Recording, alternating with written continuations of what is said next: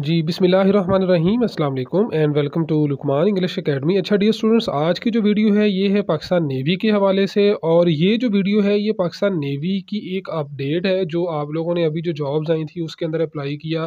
तो आपको भी उसका काफ़ी हद तक अंदाज़ा हो गया था। वो ये है कि पाकिस्तान नेवी की जो वेबसाइट है, ये काफ़ी हद तक चेंज हो गई है। इसका जो डिज़ाइन है वो बहुत ज़्यादा चेंज हुआ है और इस डिज़ाइन का आपको फ़ायदा क्या होगा वो आज की वीडियो के अंदर हम आपको बताएँगे। इसमें जो सबसे इम्पोर्टेंट चीज़ है वो ये है कि आपके जो भी सवाल हैं, आपके जहन के अंदर हैं, जो बाज़ का तो आप हमारे से पूछ लेते हैं और बाज़ का तो ऐसी चीज़ें होती हैं जिनका आपको इलम नहीं होता। तो वो सारे सवाल जो आपके जहन के अंदर हैं, उनके जो जवाब हैं वो आपकी वेबसाइट के ऊपर मौजूद हैं। आपने ख्वा आपने सेलर के लिए अप्लाई करना हो या आपका मैरीन्स का कोई क्वेश्चन हो, आपका पी एन कैडेट का हो और सिविलियन की ब्रांच के लिए या फीमेल मेडिकल असिस्टेंट के लिए तो किसी भी ब्रांच के अंदर आपका कोई भी अगर क्वेश्चन है तो वो आपका, उसका ऑलरेडी जो जवाब है और उसके बारे में जो डिटेल है, वो पाकिस्तान नेवी की वेबसाइट के ऊपर मौजूद है। तो अब आपने वो अपना सवाल, जो भी आपके जहन में है या जो बहुत सारी ऐसी इन्फॉर्मेशन जो आपके जहन में नहीं है, लेकिन वो आपके लिए बहुत मुफीद है, वो आपने किस तरह से हासिल करनी है और किस तरह से आप अपनी ये सारी इन्फॉर्मेशन ले सकते हैं। तो चलें जी, हम वीडियो स्टार्ट करते हैं और आपने क्या करना है, वीडियो को पूरा वॉच करना है, अच्छी लगे तो अच्छा सा कमेंट कीजिएगा। और दूसरी इसके अंदर सबसे इंपॉर्टेंट बात ये है स्क्रीन पे आपको नंबर नज़र आ रहा है। पाकिस्तान नेवी की जो अगली जॉब है टेक्निकल और मेरीन्स की, वो मार्च के अंदर आ रही हैं। उसकी भी आपने तैयारी करनी हो तो वो हमारी तैयारी स्टार्ट है। आप स्क्रीन पर नंबर नज़र आ रहा है आपको।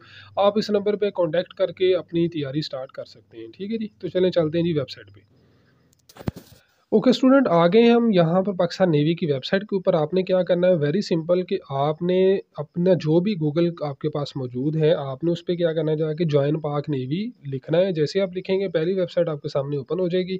थोड़ा सा ये वेबसाइट टाइम लेती है क्योंकि इसके ऊपर बेशुमार ऐसी चीज़ें हैं जो आपके लिए यहाँ पर आ गई हैं।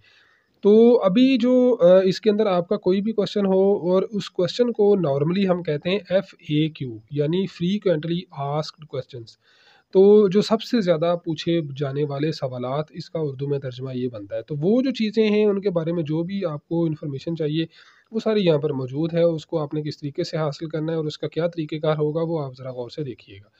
देखें, ये सारी वेबसाइट आपके सामने यहाँ पर शो हो रही है और इसमें आपको सारी जो भी इनकी कैटेगरी होती है, पाकिस्तान नेवी की, वो सारी यहाँ पर आपको शो हो रही हैं। तो आपका कोई भी सवाल है किसी भी किस्म का तो फिर मिसाल के तौर पर ये पाकिस्तान नेवी सिविलियन की जो ब्रांचेस हैं, इसके अंदर आपका कोई भी सवाल है तो वो आपने कैसे पूछना है? यहाँ पर आप देखेंगे आपके सामने ये इसका लिंक ओपन हुआ है, यहाँ पर सिविलियन एफ़ ए क्यूज। इसका मतलब होता है जो बार बार क्वेश्चन पूछे जा रहे हैं, फ्रीक्वेंटली आस्क्ड क्वेश्चन यानी जो बार बार क्वेश्चन पूछे जा रहे हैं। अब देखें, इसमें बहुत सारे ऐसे क्वेश्चंस हैं जो आप लोगों के जहन में होते हैं या पूछते नहीं हैं या बहुत सारी ऐसी चीज़ें जो आपके लिए बहुत मुफीद है लेकिन आपको उसका पता नहीं होता। मिसाल के तौर पर आप देखें, यहाँ पर आपका क्वेश्चन है, सबसे पहले पूछा गया है जी can candidates get age relaxation in upper or lower age limit for applying in P N P N का मतलब होता है पाकिस्तान नेवी तो पाकिस्तान नेवी के अंदर अगर आप एज ए सिविलियन ही देखें, यहाँ पर याद रखिएगा, ये हम बात कर रहे हैं सिविलियन की। तो अगर सिविलियन के अंदर आपने अप्लाई किया हुआ है तो क्या आपको एज रिलैक्सेशन मिलेगी? तो जैसे ही आप इस एरो पे क्लिक करेंगे तो यहाँ पर देखें आपका लिखा हुआ है कि यहाँ पर ये सिविलियन की हम बात करें तो यहाँ पर बड़ी डिटेल के अंदर आपको बता दिया गया है कि किन को एज रिलैक्सेशन मिलेगी और किन को नंबर की एज रिलैक्सेशन मिलेगी, ठीक है? तो ये सारी चीज़ें इसके अंदर मौजूद हैं और सारा बड़ा डिटेल के अंदर इसमें आपको बताया गया है। अच्छा इसी तरह से अगर हम एक और क्वेश्चन की अगर हम बात करें तो यहाँ पर आपका एक सवाल जो बड़ा इंपॉर्टेंट होता है, जो मेरे पास तो बहुत ज़्यादा पूछा जाता है फेसबुक के ऊपर भी, मेरे पे यूट्यूब चैनल के ऊपर भी व्हाट्सएप के ऊपर भी बहुत ज़्यादा सवाल पूछते हैं। सवाल क्या होता है कहना candidate apply for more than one category क्या जो स्टूडेंट अप्लाई कर रहे हैं, वो एक से ज़्यादा कैटेगरी में या ब्रांचेस में अप्लाई कर सकते हैं? तो इसका आंसर देखें जी। इसका आंसर बड़ा सिंपल है yes he can apply more than one category एक से ज़्यादा कैटेगरी में वो अप्लाई कर सकता है। तो सब्जेक्ट मीटिंग एलिजिबिलिटी क्राइटेरिया यानी कि उसके जो सब्जेक्ट्स हैं, वो उसके एलिजिबिलिटी क्राइटेरिया के मुताबिक होने चाहिए। जो क्राइटेरिया दिया गया है, अगर उसके मुताबिक हैं तो फिर वो उसमें एक से ज़्यादा ब्रांचेज में अप्लाई कर सकता है। ठीक है जी? तो आई होप आपको इनकी समझ आ गई होगी, जो चीज़ें मैंने आप लोगों के साथ डिस्कस कर रहा हूँ। इसी तरह से आप देखें कि ये क्वेश्चन आ जाता है जी होप सर्टिफिकेट का। अब होप सर्टिफिकेट क्या होता है जी? ये जो होप सर्टिफिकेट होता है, ये ख़ास तौर पर अगर आपने एफएससी कर रहे हैं इंटरमीडिएट कर रहे हैं एफए कर रहे हैं या आई काम कर रहे हैं, कोई भी दो साल की जो डिग्री है, आपने मैट्रिक के बाद कर रहे हैं। अगर आपके इंटरमीडिएट यानी फ़र्स्ट ईयर में आपके अगर सिक्सटी फाइव से ऊपर नंबर हैं सिक्सटी फाइव परसेंट से ऊपर नंबर हैं तो उस सूरत में आपका जो कॉलेज है या जो आपका प्रिंसिपल है, वो आपको एक सर्टिफिकेट देता है कि इसके सेकंड ईयर में भी इतने ही नंबर आ सकते हैं। तो उसको हम कहते हैं होप सर्टिफिकेट तो क्या आप होप सर्टिफिकेट की बुनियाद के ऊपर अप्लाई कर सकते हैं? तो यहाँ पर आप देखें, लिखा हुआ है आंसर कि no the candidates should pass the degree before apply कि आप इस पे अप्लाई नहीं कर सकते। ये सिविलियन की बात हो रही है। अगर हम पी एन कैडेट की बात करें तो पी एन कैडेट में चूँकि एफ़ एस सी के बाद अप्लाई होता है तो एफ़ एस सी वहाँ पर आपको चांस होता है कि आप होप सर्टिफिकेट की बुनियाद के ऊपर अप्लाई कर सकते हैं। अच्छा ये जो कैटेगरी थी, ये सिविलियन की थी। चले, हम थोड़ा सा बाकी कैटेगरीज़ को भी देख लेते हैं और इन, इनके अंदर काफ़ी सारे क्वेश्चंस और भी मौजूद हैं। आप उसके अंदर भी इसको देख सकते हैं। बेशुमार क्वेश्चन इसमें मौजूद हैं। ओके स्टूडेंट्स अभी हम थोड़ा बैक आ गए हैं तो यहाँ पर आप देखें कि आपने फॉर एग्जांपल सेलर में अप्लाई किया था तो सेलर की जो ब्रांच के अंदर अप्लाई किया तो आप देखें इसके अंदर आपको यहाँ पर सबसे पहला जो सवाल है कि कि I have passed my ninth class मैंने नाइन्थ क्लास पास कर ली है tenth result is awaited tenth का रिज़ल्ट अभी आया नहीं, उसका इंतज़ार है तो क्या मैं होप सर्टिफिकेट की बुनियाद के ऊपर अप्लाई कर सकता हूँ? तो इसका जो आंसर है वो नो है। मेरे से भी बहुत सारे क्वेश्चन ये पूछते हैं बार बार स्टूडेंट देखिए जो होप सर्टिफिकेट है, वो आपको एफएससी की लेवल पे मिलता है। वो आपको मैट्रिक लेवल पे नहीं मिलता।